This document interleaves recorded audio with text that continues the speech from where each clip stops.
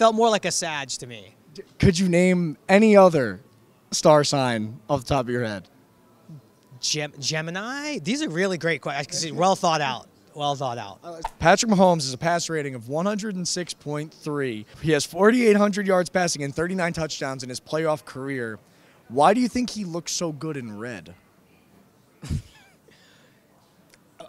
I don't know. I mean, you look, you just steal his jacket because uh, no, uh, you know, red has notoriously been the color of you know Sunday. Tiger wears red, like you know, it's a closeout color. It's a power color. So yeah, I think he looks good in the power color. So I think it's a fair answer. I appreciate you referencing the red velvet. Um, got it at Willowbrook Mall, $25 about 10 years ago. I feel like Mahomes also shops there as well, probably. Isaiah Pacheco led last year's big game in rushing, and he had a big regular season this game. Would you have guessed he's a Pisces? You, uh, you know, when I think about the horoscope stuff, he, I guess he felt more like a Sagittarius because that's what I am, and that's the only thing I know about.